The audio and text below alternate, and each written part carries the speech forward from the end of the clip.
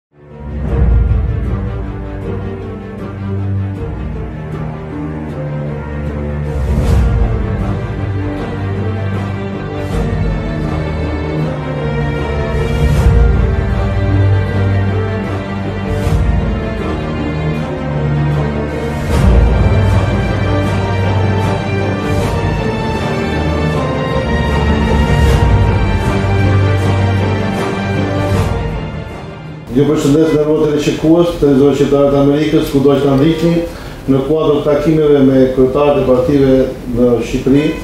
Unë ndodhem në zyrën e partisë Fryma e Re Demokratike, e cila është me kryetar zotin Bamir Topi. Tashmë zoti Bamir njihet nga tërë shqiptarët në të gjitha trevat shqiptare, pasi ka qenë në krye të shtetit për pesë vjet, duke qenë President i Republikës të Shqipërisë. Tashmë vjen me një frymë të re demokratike. Zoti kryetar, faleminderit për kohën. Mirë se keni ardhur. Është kënaqësi që jemi në një bisedë, sigurisht televizioni tonë transmeton në diasporë dhe e kanë ndjekur vazhdimisht situatën politike, të gjithë e ndjekin në familjet, në organizime në mënyra të ndryshme, por krijimi i partisë Fryma e Re Demokratike tek shumë njerëz ka sjellë kënaqësi, te disa ka pyetje, Po ç'është në realitet Fryma e Re Demokratike? Pra çfarë nënkupton? Së pari dhe unë ju falënderoj për këtë intervistë dhe nëpërmjet jush dëshiroj të dërgoj përshëndetjet më të mira për gjithë shqiptarët që janë në Amerikë, ata që ndjekin televizionin tuaj, dhe ju siguroj që pavarësisht nga cilësitë që kam pasur, qoftë si qytetar, i thjeshtë, qoftë si profesionist, qoftë si politikan, qoftë si kryetar shteti, sot në krye të një partie të re. Kam pasur uh, gjithmonë uh, një vëmendje të posaçme për të ndjekur uh, jetën e shqiptarëve në Shtetet e Bashkuara të Amerikës, duke konsideruar këtë vend të madh të lirisë dhe demokracisë, partnerin kryesor për Shqipërinë në të gjitha sfidat e mëdha që ka pasur Shqipëria gjatë historisë së saj, të vjetër dhe të re. Dhe pa dyshim i kam konsideruar shqiptarët pavarësisht se ku punojnë si ambasadorë të vërtetë të Shqipërisë në vendin më të madh të lirisë dhe demokracisë në botë. Fryma e Re Demokratike për të ardhur drejtpërdrejt në përgjigje të pyetjes suaj, vërtet është një parti e re politike, ka lindur në muajin prill të vitit të kaluar, që do thotë që ende s'e ka mbushur një vit jetë, dhe pa dyshim që duke u titulluar Fryma e Re Demokratike ka në esencë një kuptim të të madh. Kjo parti politike erdhi për të grumbulluar, për të strukturuar pikërisht atë frymë që sot ekziston midis shqiptarëve, në Shqipëri dhe në diasporë, pikërisht për të bërë të mundur atë që nuk ka arritur deri më sot të realizojë politika e vjetër. Është një frymë që ekziston jashtë politikës, ç'është e vërteta, por e interesuar për zhvillimet e politikës, Sepse do jetë e pamundur që Shqipëria të ecë duke u kthyer në modele të vjetra, në modele të cilat pavarësisht që demokracia në Shqipëri ka 22 vite që që ecën, bën progres, pa dyshim. Shoqëria shqiptare bën progresin e saj, Shqipëria bën progresin e saj. Por në rast që i referohemi politikës aktive, do të shohim që shumë gjëra kanë në vetvete një lloj fizionomie që na kujton sërish monizmin. Që do thotë që tek partitë kryesore politike sot gjithmonë më shumë evidentohet autoritarizmi i të parit të partisë, nuk po specifikoj asnjë parti, por dëshiroj që këtë ta nxjerr për të dy partitë e vjetra, që sot janë dominante në klasën politike shqiptare. E dyta, demokracitë e brendshme në partitë respektive janë të tilla që lënë një shije të hidhur, Së treti, Shqipëria ka nevojë që politika të mos të jetë konfliktuale. Historia e partive të vjetra në Shqipëri ka sjellë herë mbas here frymën e një polarizimi të tejskajshëm që në momente të caktuar ka kaluar deri në konfliktualitet. Fryma e Re Demokratike është një parti e moderuar, Ka në vetvete dhe njerëz me eksperiencë në politikë, por edhe njerëz të ri, dhe pa dyshim është një formacion i mirëstrukturuar, dhe në vizionin e vet politik, në filozofinë politike të saj, është moderacioni, është ndërtimi i raporteve normale në politikë, Komunikimi i drejtpërdrejtë me qytetarin dhe tek e fundit ajo që është në sloganin e partisë sonë është që Shqipëria ka nevojë për një shtet të fortë, për një shtet të strukturuar mirë me një fizionomi të qartë, ku shteti të jetë ai që duhet të prevalojë mbi interesat e pushtetit. Sot për hir të së vërtetës ka tendenca të qarta që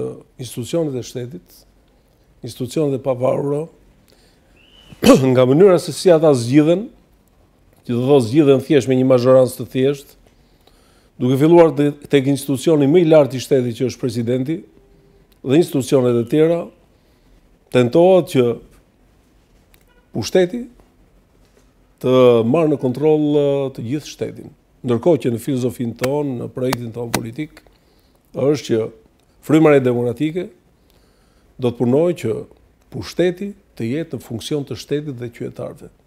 Pra besoj një fizionomi totalisht në të kundërt asaj që forcat e vjetra politike kanë demonstruar dhe vazhdojnë ta demonstrojnë sot. Fakti që partia juaj hyn në zgjedhje mbase viti, kjo kohë e shkurtër është në favor apo është në disfavor? Unë nuk besoj të jetë në disfavor. Madje për të artikuluar sërish dhe për të argumentuar atë që thash në përgjigje të pyetjes së parë, mund t'ju them që ne këtë frymë e kemi gjetur tek njerëzit. Pra kudo ku kemi shkuar, jemi pritur shumë mirë. Madje do thoja që është rast unikal në historinë e pluralizmit shqiptar që një parti e re politike strukturohet në një kohë kaq të shpejtë, në një kohë rekord, me struktura të cilat vërtet janë solide dhe nuk kanë asnjë dallim nga ato parti që kanë shumë vite që punojnë për të ndërtuar partitë e tyre. Pra mendoj që është gjithçka shumë e thjeshtë për ne për të arritur tek qytetarët. Shqipëria është një vend i vogël. Shqipëria ka një situatë reale, Njerëzit mund të kontaktohen drejtpërdrejt, vërtet është bota e teknologjisë moderne edhe në komunikim, por besoj që ajo që duhet të dominojë në kulturën politike të një partie politike është mundësia reale që ka politika për të kontaktuar qytetarët. Këtë ne e kemi, e kemi realizuar, do jemi në një komunikim shumë intensiv deri në momentin e ditës që shqiptarët do japin verdiktin e tyre, Dhe kam bindje që nuk kthehet fare në një lloj handikapi që ne kemi pasur pak kohë në dispozicion nga momenti i krijimit deri në momentin e marrjes së verdiktit të popullit. Atëherë, lidhur me strukturën e partisë, si shtrirja nëpër rrethe, se a keni një projekt që mendoni se do të hyni në parlament? Atëherë, juve sapo e thatë që Fryma e Re Demokratike është e shtrirë kudo në gjithë Shqipërinë, për ne nuk ka asnjë vakum gjeografik sot në Shqipëri që mos jetë i mbushur me strukturat e Frymës së Re Demokratike. Ne funksionojmë në kuptimin real dhe formal, do të thoja, nga Vermoshi deri në Konispol. Në të gjitha qytetet, në të gjitha komunat është një parti e ndërtuar shumë mirë, ka një frymë demokracie dhe nuk mund të ketë do thoja grupe specifike, janë tek ne marrin pjesë përfaqësues të të gjithë grupeve shoqërore, që do thotë nga ish-pronarë, them ish-pronarë sepse ato dallohen nga pronarët e sotëm, të cilët nuk kanë pasur pronë, por janë legalizuar. Ka njerëz që vijnë edhe nga shtresa e pronarëve të ri, nga shtresat e biznesit, nga të përndjekurit politik, vijnë njerëz intelektualë të fushave të ndryshme, njerëz që janë pa arsimin përkatës, pra do të thotë është një gamë shumë e gjerë e pjesëmarrjes Dhe ajo që dominon në partinë tonë është pjesëmarrja e rinisë. Rinia ka ardhur me flukse të jashtëzakonshme, me interesa të mëdha sikurse i ka rinia, dhe besoj do jetë ajo forcë dinamike që do të lëvizë frymën e re demokratike drejt sfidës së zgjedhjeve të 23 qershorit. Gjëja e fundit që futet në analizën tonë politike është pikërisht kjo që juve sapo pyetët. Ne futemi për të krijuar, jo për të dëmtuar, por në mënyrë të pashmangshme. Ne jemi një parti e qendrës së djathtë. Tek ne natyrisht që ka shumë nga ata demokratë të zhgënjyer, të cilët nuk janë influencuar nga ajo që ne themi. Përkundrazi, ne kemi marrë pikërisht gjykimin e tyre dhe gjykimi i tyre është bërë pjesë e deklaratave politike të eksponentëve politikë të Frymës së Re Demokratike. Pra në këtë kuptim ne po riformatojmë absolutisht Një parti politike e cila do të vazhdojë atë mision që nisi në vitin një mijë e nëntëqind e nëntëdhjetë dhe që u sabotua rrugës. Fakti që sot në skenën politike shqiptare ke shumë të vështirë për të pasur njerëz të cilët kanë dhënë premtime në të kaluar dhe i kanë mbajtur, aq më shumë për çështje substanciale, sikurse janë çështja e të përndjekurve politikë, çështja e pronave në Shqipëri, Çështja e orientimit të njerëzve drejt një të ardhme të sigurt europiane dhe koalicionet e realizuar në Shqipëri gjatë këtyre vite kanë treguar që çështja e demokracisë në Shqipëri praktikisht ka shkuar drejt interesave të karrikës dhe aspak në interes të atyre parimeve të cilat demokratët e vërtetë në Shqipëri kanë besuar dhe i kanë votuar. Kështu që unë mendoj që do ketë një lëvizje dinamike në flukset elektorale. Kjo është arsyeja që pa ardhur në atë moment ku partitë politike parashikojnë shifra, unë do të thoja që unë parashikoj një tendencë. Tendenca është shumë pozitive për Frymën e Re Demokratike dhe padyshim 23 qershori është ai që do të japë këtë verdikt dhe do të miratojë apo do të aprovojë ato synime që ne kemi dhe që i shohim në realitet. Zoti kryetar, megjithëse ne kemi korrespondentë këtu në Shqipëri, kontakti me krerët e partive është jo i mundur shpesh. E më duhet ta bëj një pyetje të cilën edhe elektorati ku është në Michigan sepse dërgojnë ka një mm. potencë të madhe në për votën këtu sepse komunikojnë qartë. Dhe dua të bëj një pyetje. Ju njiheni si një person që vini nga një politikë e moderuar, keni qenë nga drejtuesit më të lartë të Partisë Demokratike, Keni patur një mbështetje absolute disa vjeçare në qytetin e Tiranës, keni fituar disa herë absolutisht në mënyrë të suksesshme. Jeni një vërtet një politikan që keni lojtur edhe gjatë kohës që keni qenë president, keni para i keni jeni munduar të jeni sa më afër kushtetutës.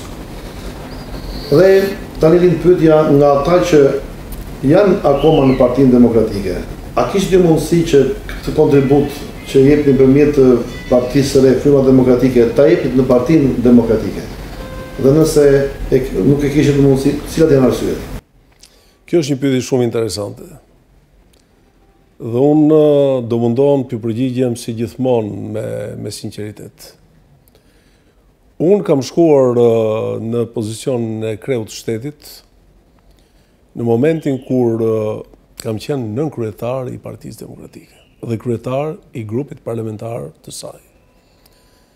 Natyrisht me një karrierë të gjatë në Partinë Demokratike dhe kontribues modest i të gjitha rritjeve që ajo parti ka pasur gjatë periudhës së pluralizmit. E kam parë veten si një kontributor modest sepse Besoj që tek ajo parti ka pasur edhe kontribute të tjera nga njerëz të dukshëm dhe nga njerëz të padukshëm. Që do thotë ajo parti ka pasur një bazë të gjerë e cila erdhi si rezultat i krijimit të një fronti anti-komunist të asaj periudhe, tani do të vijmë drejtpërdrejt tek pyetja juaj. Duke shkuar në rolin e kryetarit të shtetit, unë besoj që kam përmbushur me rigorozitet të gjitha detyrimet e mia kushtetuese si president, që do thotë që presidenti është jo vetëm garant i institucionit më të lartë që ka shteti, Është njeriu që duhet të zbatojë më me përpikmëri të gjitha detyrimet kushtetuese, njeriu që duhet të shkëputet nga interesat politike të çdo partie, sepse është simbol i unitetit të popullit. Në rast ju do shkoni në retrospektivë të këtyre marrëdhënieve, unë me keqardhje kam konstatuar që institucioni i presidentit është sulmuar pabesisht politikisht pikërisht nga eksponentët kryesorë të asaj partie ku unë kam qenë pjesëtar. Dhe çka është më rëndësishmja, ka pasur një tentativë të dukshme ajo që po ndodh realisht tani që institucionet e pavarura, institucionet kushtetuese të dominohen nga vullneti i një partie dhe specifikisht nga vullneti i një individi. Natyrisht që unë nuk kam ardhur në politikë për të synuar vetëm karrierë, por kam ardhur në politikë si një misionar, jam rikthyer në politikë si një misionar, duke parë që shumë gjëra në funksionimin e demokracisë, sidomos në demokracinë e brendshme të partive, ku kryetarët janë bërë padronë të këtyre partive, kam pasur synime të tjera, një predispozicion tjetër demokratik, që të gjitha vendimarrjet politike në partitë politike, sidomos në Frymën e Re Demokratike, të kenë një bazament tjetër të vendimarrjes, një parti e vërtetë demokratike, dhe aspak të mos jetë domeni i një njeriu apo një grupi njerëzish. Fakti që ndahemi në mënyrë të dukshme në substancën e funksionimit të një partie, unë besoj që kjo ka qenë arsye themelore, por dëshiroj të them që Kjo na ndan me eksponentët politikë, por në bazë demokratët e vërtetë janë ata që po bëjnë dallimin midis dy filozofive politike dhe shumë prej tyre sot janë në mënyrë të dukshme anëtarë të Frymës së Re Demokratike, po jam i bindur që edhe shumë simpatizantë do ta vendosin me votën e tyre me datë njëzet e tre qershor. Me Partinë Demokratike ju keni kaluar shumë kohë të vështira. A ju vjen keq për kontributin që keni dhënë? Unë kontributin tim e kam dhënë në funksion të demokracisë, të shoqërisë, e kam dhënë në funksion të Shqipërisë. Natyrisht njeriu ndjen keqardhje që tradhtohet në idealet e veta pikërisht nga bashkudhëtarët, por njeriu duhet të gjejë forcën Në momente të tilla kaq të rëndësishme, që nuk janë në funksion të interesit personal, por në funksion të shoqërisë, që të bëjë ndarjen, të bëjë zgjidhjen e vet dhe tek e fundi jemi të gjithë përpara opinionit publik, do jetë opinioni publik ai që do të përcaktojë Pikërisht se sa të drejta kanë qenë këto vendimmarrje. Cili është programi i partisë tuaj ndryshe nga partitë e tjera të djathta e të majta? Çfarë fryme të re ju sillni për komunitetin shqiptar për të cilën juve ashtu si folët pra është total keq në disa fusha? Programi i partisë sonë është një program i gjerë, i studiuar mirë, i ndërtuar nga ekspertë Fakti që tek Fryma e Re Demokratike ekzistojnë nëntëmbëdhjetë departamente të fushave të ndryshme me ekspertë të njohur, por edhe të panjohur, sepse është në filozofinë e partisë tonë që ka një përzierje të njerëzve me eksperiencë dhe njerëzve të cilët japin kontributin e tyre nëpërmjet dinamizmit të tyre.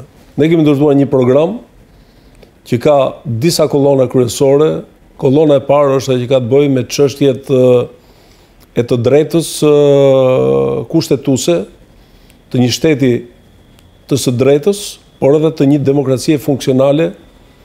Dhe besoj që këtu ka element shumë të rëndësishëm, ne kemi bërë prezent programin tonë.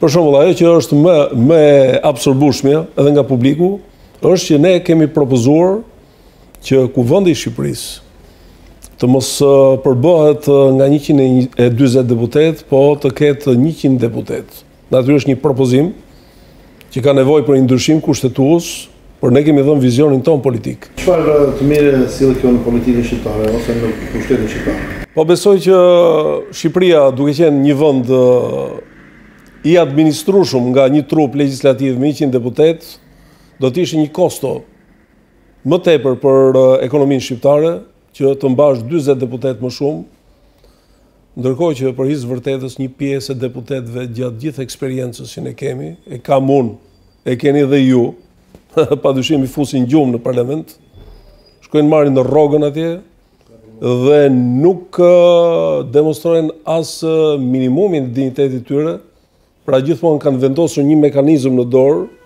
dhe sa herë që orientohen nga kryetarët e partive, pa u futur në brëndësin e qështjeve, pa marrë pjesë në debatet politike, pa qenë të ndërgjegjshëm për vendimmarrjen e tyre, ngrenë dorën. Unë besoj që Shqipëria i ka të gjitha kushtet, tashmë ka edhe një përmisim të infrastrukturës, sepse koha ecën. Sot mënyra e komunikimit është e tillë që të afron më shpejt me zgjedhësit. Popullsia nga periferia po shkon drejt zonave të mëdha urbane. Unë besoj që ka ardhur koha që të realizohet dhe nuk besoj që të ketë argumente për të kundërtën. Së dyti, ajo që është shumë e rëndësishme, ne konsiderojmë që votimi i institucioneve të pavarura, duhet të realizohet me një votim të cilësuar, jo me një votim të thjeshtë. Kjo bën të domosdoshme bashkëpunimin midis mazhorancës dhe opozitës në çdo kohë në parlament për të zgjedhur figura në krye të institucioneve të pavarura që nuk janë figura partiake, por janë figura të cilat kanë potenciale intelektuale dhe mbështeten nga një numër i madh deputetësh, që do thotë që mbështeten në mazhorancë Nga pjesa më e madhe e vullnetit të popullit shqiptar. Pra ne po ikim drejt në filozofinë tonë drejt një votimi me më shumë se sa 71 deputetë në parlament. Nëse nesër parlamenti do të jetë me 100 deputetë, minimalisht ne duhet t'i largohemi 50 plus 1-shit.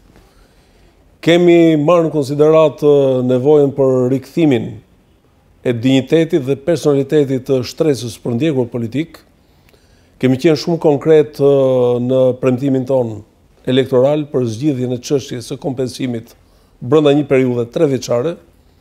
Këtë e kemi detajuar mbi bazë të një studimi konkret. Kemi marrë përsipër në programin tonë që të zgjidhim në mënyrë definitive çështjen e pronësisë në Shqipëri. Çështja e pronësisë në Shqipëri është një çështje kardinale. që nuk ka të bëjë thjesht me të drejtën legjitime kushtetuese të çdo individi që posedon një pronë apo e trashëgon një pronë, por është edhe një element shumë i rëndësishëm i ekonomisë së tregut. Pa futjen e pronës në bursë, pa futjen e pronës si një element substancial i ekonomisë së tregut, Natyrisht do kemi probleme me investitorët, qoftë vendas, qoftë huaj. Ata nuk janë, ju e keni ndoshta e keni ndjekur që ka shumë paqartësi, ka shumë probleme juridike që lidhen. Nëse një pronë është me pronar të vjetër, me pronar të ri, pra probleme që në filozofinë e një investitori të huaj, natyrisht është është shumë problematike. Askush nuk do të vinte në rast se nuk është i sigurt Në rast se atij do t'i dalin probleme gjatë rrugës, sigurisht është një dëm i madh që i bëhet jo vetëm investitorëve, por edhe ekonomisë shqiptare. Ne do të trajtojmë me shumë rigorozitet çështjet që kanë të bëjnë me arsimin, me shëndetësinë, duke qenë një parti e qendrës djathtë, Ne nuk jemi kundër aplikimit të taksave, sepse do ishte absurditet shteti sigurisht që nuk mbahet pa taksa, por ne kemi futur konceptin e taksës relative. Taksa ç'do të thotë taksa relative? Taksa relative është domethënë taksimi i bizneseve simbas llojit të biznesit dhe forcës biznesit. Bizneset që kanë potenciale të mëdha, natyrisht që edhe këtu ka një moment rregullator. Në rast se këto biznese do të krijojnë fronte të gjëra për punësim, në një moment të caktuar të zhvillimit të aktivitetit të tyre, ato mund të lehtësohen nga taksat, ndërsa bizneset e vogla sigurisht që do taksohen më pak, do të jenë të privilegjuar në një periudhë të caktuar në mënyrë që të japin mundësi punësimin e njerëzve që sot me shumicë i ke pa punë. Pra do t'i japim ekonomisë shqiptare një fizionomi të një tregu të lirë, ku të mos krijohen monopole apo oligopole, sepse kjo e bën diferencën e madhe. Ndonjëherë oligopolet janë shumë afër pushtetit, janë ata që profitojnë më shumë nga burimet natyrore të Shqipërisë dhe janë ata që kontribuojnë më pak Pra, do të thotë që ne do të krijojmë një ekuivalencë të plotë qoftë në shfrytëzimin e mundësive që ka Shqipëria në fusha të ndryshme, por nga ana tjetër ekuivalencë të plotë edhe në vjeljen e taksave në mënyrë shumë racionale. Unë kam qenë para 2-3 ditësh në, në Ballsh, në Mallakastër, dhe në komunikim me qytetarët, Jam shprehur në mënyrë shumë të qartë që si ka mundësi që në zona të caktuara ku janë ekzistojnë burime shumë të rëndësishme natyrore të Shqipërisë, sikurse është fusha e hidrokarbureve, që do thotë e naftës, në zonën e Mallakastrës, në Ballsh specifikisht, apo e kromit në Bulqizë, këtu kemi komunitetet më të varfra. Pra ky është një paradoks shumë i madh. Zakonisht aty ku janë burime më të mëdha, njerëzit janë më të pasur. Dhe ajo që ndodh në Bulqizë dhe në në Ballsh, po marr këto dy raste si raste emblematike, ke jo vetëm një shfrytëzim pa kriter të burimeve natyrore, ke papunësi, ka njerëz që kanë 5 muaj që s'marrin rrogët, por ndotja e mjedisit është alarmante. Që do thotë që ka një tendencë të disa kompanive që janë të lidhura kryesisht me pushtetin, shfrytëzojnë, i marrin të mirat materiale, një vend të caktuar, burim natyror, nga ana tjetër ndotin mjedisin, që do thotë që është jo vetëm shfrytëzim pa kriter, por nga ana tjetër është mungesë respekti për komunitetin, i cili sot paradoksalisht është pjesa më e madhe pa punë. E njëjta gjë ndodh në galeritë e Bulqizës. Elementi që eksploatohet në mënyrë të dukshme në këto dhjetëra vjeçarë, pikërisht kromi, lënë mbrapa një popullsi e cila jo vetëm ka një tregues ekonomik skandaloz, do thoja, por nga ana tjetër është shoqëruar edhe me tragjedi familjare, sepse nuk i respektojnë kompanitë, rregullat teknike të të funksionimit të galerive apo të çdo procesi tjetër që lidhet me jetën e minatorëve. Pra unë besoj që janë elementë shumë të rëndësishëm që bëjnë pjesë në në politikat e programit tonë, Patjetër që ne i kemi kushtuar, meqenëse jemi në bisedë me ju, i kemi kushtuar një rëndësi shumë të veçantë politikave për diasporën. Meqenëse ju e nisët vetë për diasporën, unë e kisha pyetje të veçantë dhe do ta bëja pyetjen atje ku i them diasporës. Po. Ju keni qenë një mik i mirë i diasporës për vitet që keni qenë kryetar i shtetit të Shqipërisë. Pra të gjithë ne në emigracion nuk i harrojmë vizitat tuaja që keni bërë në Boston, keni bërë në Washington, në New York apo edhe në Michigan, ku njerëzit e ruajnë për kujtim një fotografi, një takim. Edhe unë ruaj kujtimet më të mira. Dhe mendoj që ata kanë dëshirë, meqenëse ju tashmë keni hyrë në politikën prodhuese, sepse aty, megjithëse ishit kryetar shteti, është i kufizuar aktualisht ligji për presidentin. Sigurisht. Por si parti ndoshta kini suksese dhe ju uroj suksese që në zgjedhjet parlamentare të kini suksese dhe programi juaj të zbatohet pasi që është një program shumë i mirë dhe unë ju falenderoj për ato nisma dhe ato mundësi domethënë dhe hapësira që kini patur në dhe kini sjellë në fusha të ndryshme të jetës së Shqipërisë të cilat Janë politikat e partisë tuaj, cili është vizioni juaj për diasporën, pasi pak a shumë ju jeni nga të rrallët politikanë që e njihni diasporën nga afër, veçanërisht diaspora don të votojë, diaspora don të investojë bashkë me investitorët amerikanë, diaspora pse jo ka fëmijë që venë në shkollë, marrin universitetin dhe kanë dëshirë të vinë të punësohen këtu në Shqipëri. Këtu duhet të jem shumë eksplicit, duhet të jem shumë i drejtpërdrejtë në mënyrë që të gjithë qytetarët shqiptarë në diasporë të kuptojnë që në programin tonë ne jemi kemi qenë shumë të vëmendshëm për diasporën. Së pari. Ne kemi në programin tonë krijimin e një ministrie vetëm për diasporën. Duke marrë në konsideratë që gati gjysma e popullsisë shqiptare sot jeton jashtë kufijve të Shqipërisë, vëmendja për ata duhet të jetë shumë më e madhe nga ç'është sot. Ne duhet të inventarizojmë të gjithë popullsinë shqiptare që është jashtë kufijve të Shqipërisë, të shohim ç'lloj kualifikimi kanë familjet shqiptare, të rinjtë shqiptarë, sa janë studentë, sa janë punëtorë, sa janë pensionistë, çfarë problemesh kanë. Pra do jemi jashtëzakonisht të kujdesshëm në ndërtimin e një ministrie që besoj do jetë një nga ministritë kryesore të qeverisë së ardhshme, në rast se ne do ta kemi këtë mundësi për të qenë vendimmarrës mbas zgjedhjeve të njëzet e tre qershorit. Së dyti, do t'i krijojmë detyrimisht kushtet ligjore që çdo qytetar shqiptar që ka drejtën e votës, pavarësisht ku jeton, jeton Shtetet e Bashkuara, jeton në Itali, në Greqi, kudo, ku ka shqiptarë, të kenë të drejtën që të votojnë.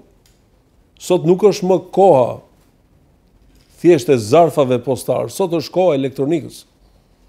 Sot politikanët edhe në Shqipëri e kanë shumë për zemër të tregojnë në Facebookun apo Twitterin, nga ana tjetër, këtë lloj teknologjie nuk e vendosin në funksion të së drejtës legjitime të qytetarëve shqiptarë për të votuar.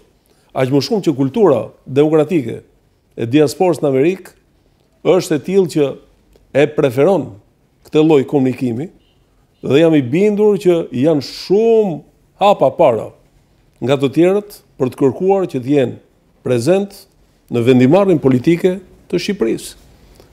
Së treti, që është shumë e rëndësishme, është çështja që ka të bëjë me evidentimin e të rinjve dhe të rejave që kanë studiuar me kontributin e familjeve të tyre në universitetet më prestigjioze në botë. Ato sot mbarojnë, japin kontributin e tyre për kompani të ndryshme, por ka shumë prej tyre që dëshirojnë të kthehen. Dhe kur dëshirojnë të kthehen, vijnë në Shqipëri dhe nuk gjejnë fronte pune, kjo tregon që kujdesi për ta Nuk është i duhuri. Nga ana tjetër është çështja e investimeve. Unë besoj që të kesh partner, kompani prestigjioze amerikane që të vijnë të investojnë në Shqipëri është një luks për Shqipërinë. Pa dyshim ne krijojmë kushte për investime, por duhet që këto të jenë të bazuara mbi bazën e sigurisë që ne duhet t'i japim nëpërmjet çështjes së pronës, çështjes së konkurrencës, çështjes së besimit që ata duhet të kenë te një konkurrencë e lirë dhe e ndershme.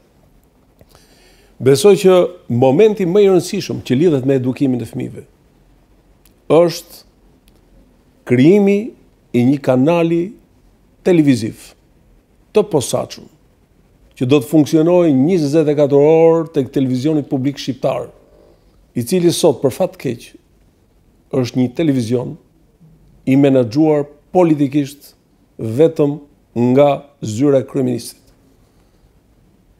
Këtë e them, e kam thënë dhe do vazhdoj ta them, që është shumë e rëndësishme që ky televizion, i cili në vetvete është realisht I vetmi televizion me taksat e të gjithë shqiptarëve.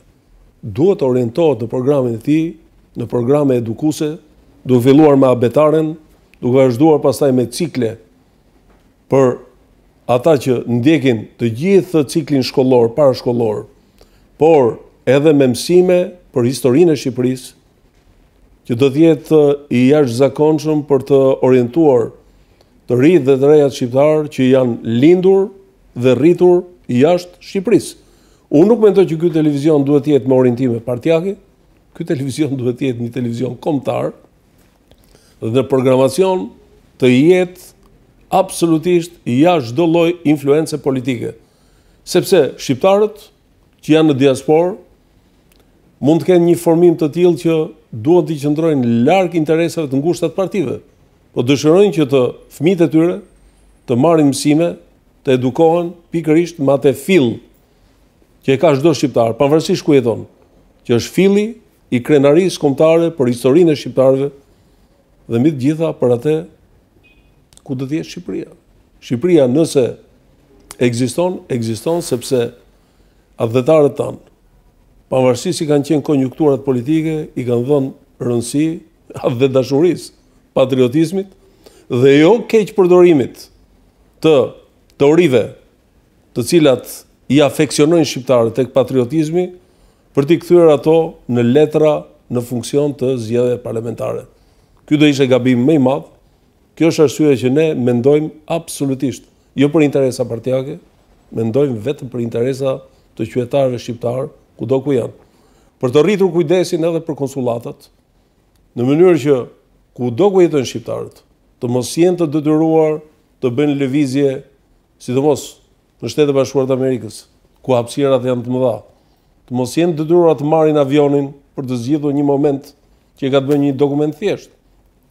Aty ku jetojnë më shumë shqiptarë, të ketë zyrë konsullore, duhet t'i japim shumë rëndësi këtij momenti, sepse qytetarët shqiptarë e ruajnë lidhjen me atdheun e tyre edhe nëpërmjet simbolikës së një ndërtese, edhe nëpërmjet një, përmjet një formulari, një përfaqësuesi të shtetit pikërisht aty ku ata jetojnë dhe besoj ky është momenti që duhet na bëjë që ne t'i përkushtohemi shumë jo thjesht për ta proklamuar, por edhe për ta zbatuar. Unë kam bindje që rritja e kujdesit ndaj migracionit, ndaj diasporës është patjetër një gjë shumë e rëndësishme jo për ata që janë atje, thjesht, por edhe për familjarët e tyre që janë këtu. Diaspora në Shtetet e Bashkuara të Amerikës është njëqindvjeçare, megjithëse ka nxjerrë personalitete të veçanta në fusha të ndryshme, Si Noli, Konica e të tjerë, në ditët tona ka resurse ekonomike të fuqishme, intelektuale sikurse dhe ju e cekët në përgjigjen që dhatë pak më parë, por nuk kemi një lob shqiptar të organizuar dhe nga eksperienca e lobeve të tjera, të kombësive të tjera, ato janë bërë me ndërmjetësimin e qeverisë të vendeve pra që nga vijnë ata konkretisht nga nëse ju vini në pushtet, a do të kini një iniciativë, a do të kini juve një vullnet që të krijohet lobi në Amerikë, pasi ka vullnet, ka resurse, por nuk është krijuar akoma lob, pra që do të thotë, potenciali ekonomik ose intelektual i diasporës të jetë i përqendruar që të jepet për vendin, vendlindjen ose kur ka nevojë atdheu të jepet pra kjo ndihmë ose ky kontribut. Në rast se partitë politike në Shqipëri do të shkojnë në diasporë, për të mbjellë përçarje, atëherë kjo nuk ka shans të realizohet. Në rast se partitë politike do ta përqendrojnë sherrin e tyre në thonjza brenda institucioneve të Shqipërisë dhe kur të dalin në diasporë duhet të jenë të unifikuar. Atëherë do të shikoni që shqiptarët kudo që janë do ta kenë mendjen tek Shqipëria dhe jo tek politikanë të veçantë. Historia tregon që politikanë të veçantë, pavarësisht rolit të tyre, vjen një moment që dalin nga skena politike. Dhe kjo do të ishte shumë e mirë për të imituar edhe demokracinë në Amerikë, që kohë mbas kohe ka rotacion të elitave dhe të politikanëve. Por ajo që ka shumë rëndësi është që shqiptarët sidomos kur janë jashtë, janë larg vendit tyre, duhet ta shohin veten dhe shokun dhe bashkëatdhetarin me një dashuri të pamatë, është dashuria që përçon pikërisht të qenurit shqiptar dhe dëshira për të jenë gjithmonë me hallet që ka vendi dhe sidomos me nevojën për ta projektuar vendin drejt hapësirave të lirisë dhe demokracisë. Unë mendoj që politikanë shqiptarë, duke futur këtu edhe veten, sa herë duhet të marrin kontakt me diasporën, duhet të përçojnë vetëm sinjale, sinjale harmonie midis tyre, të jenë në gjendje që t'i bashkojnë shqiptarët aty ku ka kontradikta, t'i sheshojnë këto kontradikta, Dhe të kuptojmë që sa më të bashkuar të jemi, zëri ynë do jetë më i fuqishëm. Ne do tregohemi njerëz më me dinjitet dhe besoj që zgjidhjet që ne kemi përpara do arrihen më lehtë. Po për zgjedhjet, si mendoni, a do të jenë të ndershme dhe të lira? Ky është një përcaktim i cili për shkak të asaj që ne kemi kaluar ka mbetur si element shumë virtual. Të them sot që zgjedhjet do jenë të lira të ndershme s'e them dot. Sepse do kisha një moment hipokrizie. Nga ana tjetër do të thoni keni të drejtë ta paragjykoni, sigurisht nuk kam të drejtë ta paragjykoj, por mbi bazën e asaj çka ne Vazhdojmë të shohim. Kur kodi zgjedhor është realizuar në mënyrë të tillë kur vota e çdo shqiptari nuk është e barabartë. Aty ku procesi zgjedhor kontrollohet nga partitë dhe jo nga struktura të kualifikuara të shtetit. Pra dalim edhe një herë që shteti duhet të jetë mbi partitë, jo partitë mbi shtetin. Nga mënyra e kontrollit mbi median. Media kontrollohet në mënyrë të kualifikuar nga partitë politike. E katërta është dominimi i pushtetit mbi interesat e qytetarit. Që do të thotë në administratë, Pikërisht ajo administratë që duhet të jetë totalisht neutrale në rastin e zgjedhjeve, sot janë të orientuar që të jenë pjesë e partisë në pushtet. Pra janë shumë elementë që futur pa dyshim edhe në eksperiencën e hidhur të së kaluarës, janë shumë elementë që të bëjnë që të jemi skeptikë nëse zgjedhjet do jenë të lira dhe të ndershme. Unë do të uroja që zgjedhjet të ishin të tilla, për t'u larguar një herë e mirë nga ato probleme që kanë pasur zgjedhjet dhe sidomos periudhat paszgjedhore. Periudhat paszgjedhore kanë qenë problematike sepse kanë të bëjnë me konstituimin e institucioneve, me funksionimin normal të parlamentit dhe ajo që është më e rëndësishme në injektimin e një psikologjie të qetë tek njerëzit. Njerëzit janë përgjithësisht të qetë, ajo që i bën të jenë të irrituar janë pikërisht politikat agresive të lidershipeve politike në partitë e vjetra shqiptare. Në rast se ne do të tentojmë të sillemi në mënyrë të moderuar, kjo transmetohet menjëherë dhe tek njerëzit. Përfytyroni ç'do të thotë një lloj agresiviteti në institucion, sidomos në institucionin e parlamentit. ku edhe etika e komunikimit është ekstra-institucionale. Më të lehtë ndonjëherë e gjen këtë fjalor vulgar në parlament sesa e gjen në rrugë. Apo jo, në debate televizive etj etj etj. Pra çështja është që kjo klasë politike duhet të kuptojë që Vulgariteti është një element që nuk e nderon. Ne kemi nevojë për një sjellje elitare në institucione, sa më elitare të jenë institucionet, patjetër edhe prestigji në arenë ndërkombëtare do jetë më i lartë. Ne kujtojmë se gjërat në Shqipëri konsumohen vetëm brenda. Harrojmë që Ne kemi prezencë diplomatike në Shqipëri, kemi zërat e vendeve partnere qoftë në Shtetet e Bashkuara të Amerikës, qoftë në Bashkimin Europian, informacione se ç'ndodh në politikën shqiptare dhe në parlamentin shqiptar.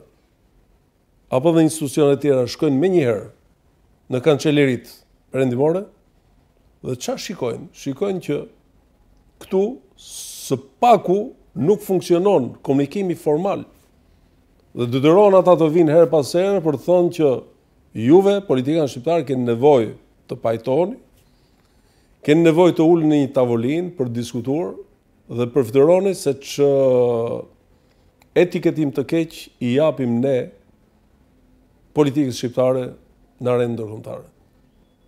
Pra unë mendoj që kjo politikë e re duhet patjetër të modifikojë. Është viti 2013. Viti 2013 kur kjo mënyrë sjellje nuk ekziston në asnjë vend tjetër. Ka probleme natyrisht politika kudo. Nuk ka vend që s'ka probleme të natyrës politike, komunikimit.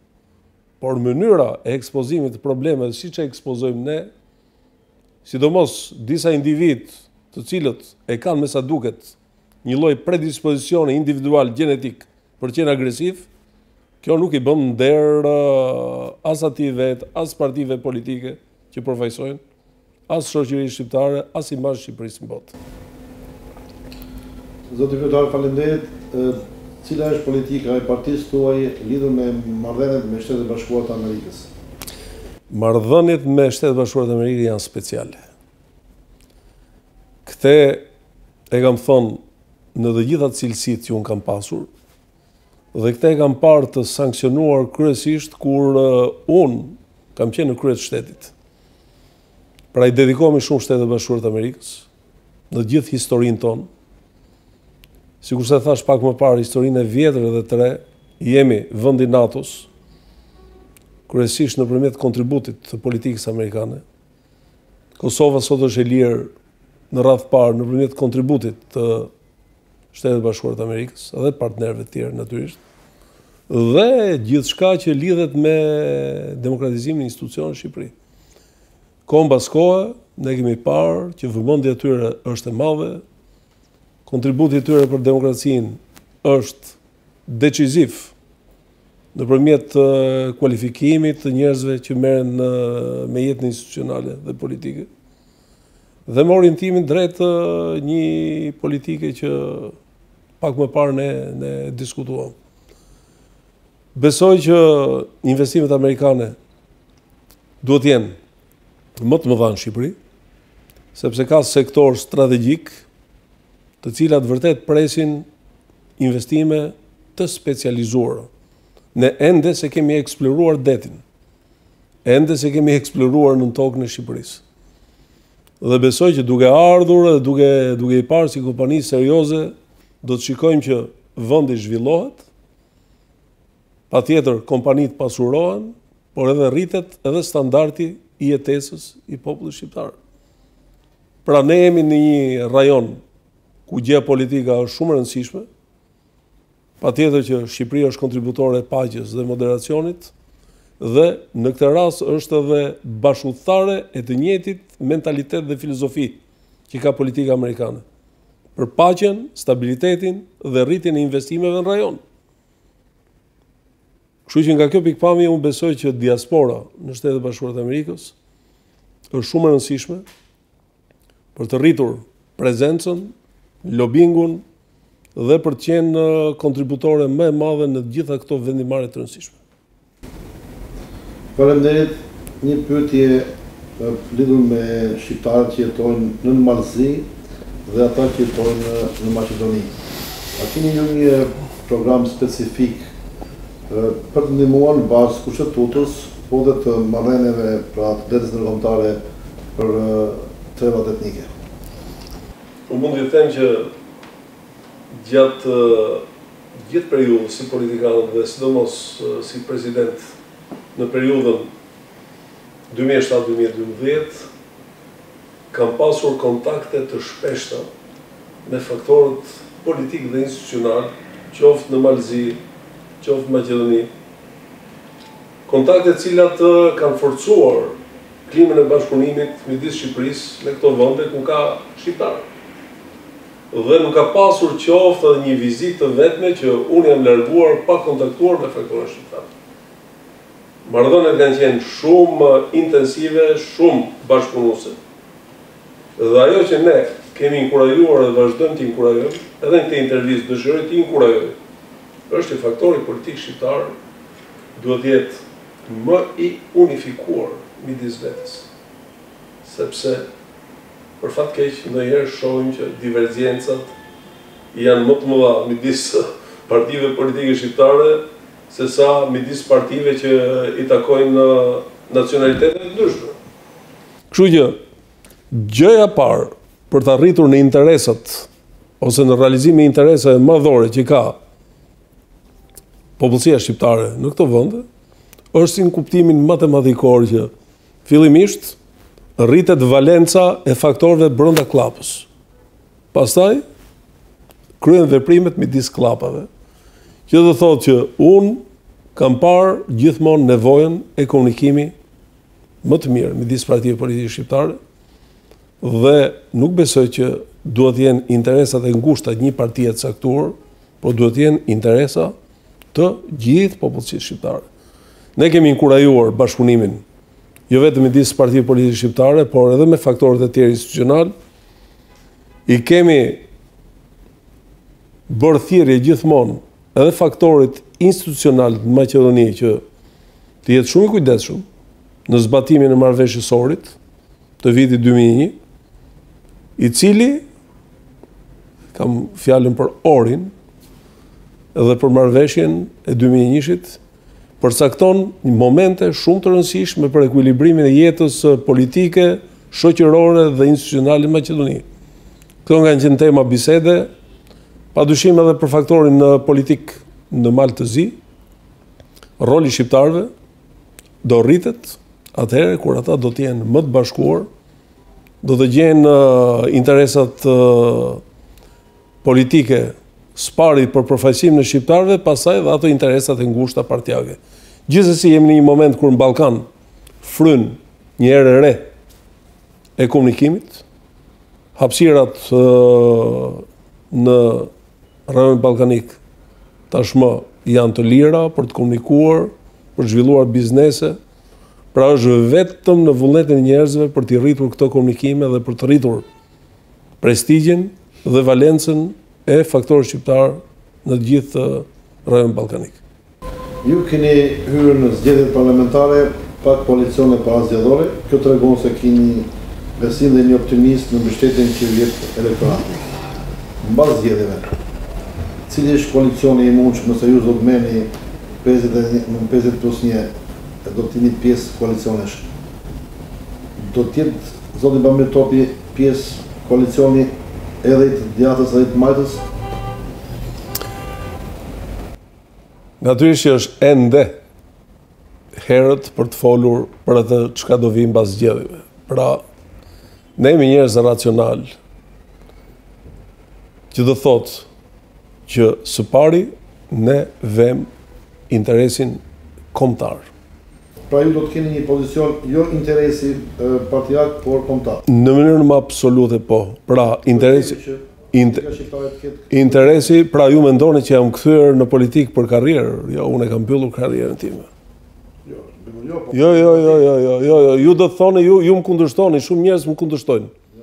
Unë nuk kam ardhur në politikë, sigurisht njeriu ka ka përgjegjësi që lidhen edhe me karrierën, por nuk kam ardhur për karrierë, kam ardhur për një mision politik qytetar. Që do thotë që interesi kombëtar është interesi që prevalon mbi çdo interes partiak. Pra të gjitha vendimmarrjet e rëndësishme në interes të Shqipërisë, patjetër janë ato vendimmarrje që lidhen me filozofinë e partisë tonë. Kur thashë që jemi njerëz racionalë, ndoshta vendimmarrjet i takojnë një kohe tjetër, që do thotë që lidhen me realizimin e zgjedhjeve, me daljen me një rezultat të pëlqyeshëm për ne, dhe pastaj në funksion të rezultatit tonë, gjykohet edhe për mënyrën e realizimit të partneritetit për qeverisje apo për vendimmarrje institucionale. Unë nuk do ta konsideroja thjesht një koalicion i interesave të ngushta. Pra, do të ndryshojë edhe terminologjia. Terminologjia nuk do të jetë thjesht koalicion, jo partneritet për qeverisjen e vendit apo partneritet për vendimmarrje të rëndësishme në institucione. Ne Pavarësisht nga zëri që do kemi, do të jemi gjithmonë në favor të votimeve të atyre ligjeve që lidhen me fatin e integrimit të Shqipërisë. Asnjëherë nuk do të jemi kontestues, ne do jemi debatues për çështje që kanë të bëjnë me teknikën ligjore të realizimit të një ligji, por jemi gjithmonë për filozofinë e harmonisë dhe të sintonisë të vendimmarrjeve për integrimin e Shqipërisë. Pra ju nuk do të keni shitje të partisë në... Nuk mund të ekzistojë ky term. Faleminderit. Zoti kryetar, meqenëse të jepet mundësia, nëse dëshironi të komunikoni me komunitetin shqiptar të Amerikës, mund t'u thoni ato që dëshironi. Patjetër, po i drejtohem drejtpërdrejt kamerës atëherë, sepse jam i bindur që Nëpërmjet kësaj kamere, unë do të transmetoj edhe emocionet e mia për të gjithë qytetarët shqiptarë që jetojnë në Shtetet e Bashkuara të Amerikës. Kam mall për të gjitha ato takime që kemi zhvilluar dhe dëshiroj që t'ju përcjell përshëndetjet më të mira juve, të gjithë familjeve shqiptarëve, fëmijëve, të rinjve të rejave, të moshuarve, të gjithë njerëzve aktivë për punë, ata që kanë përballuar atë patjetër, atë sfidë që ka emigracioni, që keni rritur standardet, keni menduar për fëmijët tuaj dhe keni demonstruar që pavarësisht nga distanca nuk e keni harruar asnjëherë Shqipërinë. Unë ju përshëndes, uroj që të keni shëndet dhe sukses në familjet tuaja Dhe patjetër jam i bindur që edhe mbas kësaj interviste ne do të kemi shansin që të kontaktojmë sërish në okazione të ndryshme dhe jam i bindur jo në okazione për parti politike, por në ato evenimente që i mbledhin gjithë shqiptarët pa dallim ngjyrash politike, pa dallim feje, krahine, ideje, sikurse ka qenë dhe ajo filozofi e etërve të kombit shqiptar.